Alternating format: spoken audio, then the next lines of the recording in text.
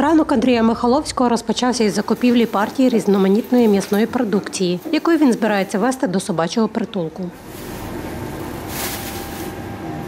Ящики з м'ясом та субпродуктами він вантажить у автівку, де вже знаходиться корм для котів.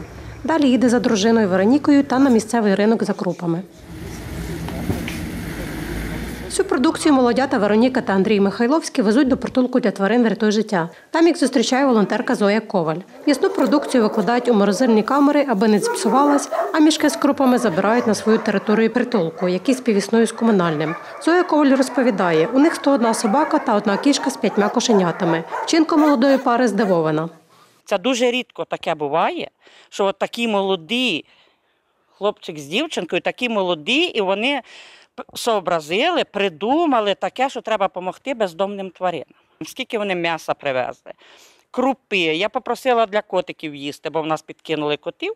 У нас є. Вони на все, на все согласні. Все привезли.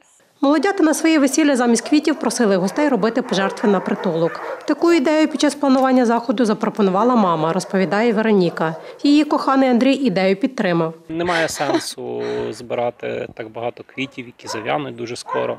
Краще зробити якийсь такий Добру добрий жест. Як сказав мій хресний, коли прочитав запрошення, ага, поняв, конверт вам, конверт псам.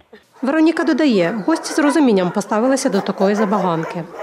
Вони дуже відповідально до цього підійшли. Жодного її людини не було з квітами. Жодної. Хоча нам всі казали, «Е, та розраховуйте на те, що 50% прийдуть з квітами. І на території е, місця проведення ми влаштували е, місце, зону Скриньку зі скринькою, так, куди можна було кидати пожертву. Плюс там був ще плакат, на якому була написана вся інформація.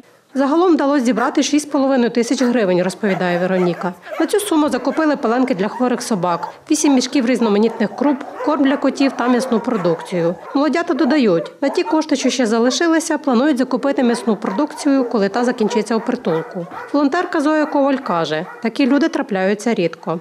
таким обсягом і, і з таким рвінням, щоб так дзвонили по кожен день по два, по три рази, що вам треба, яке вам треба, а ще й кажуть, що в нас ще залишилися кошти. Кажуть, до мене ви зістекає м'ясо, і е, я друге вам привезу. Леся Боровець, Світлана Крентовська. Новини на Суспільному. Хмельницький.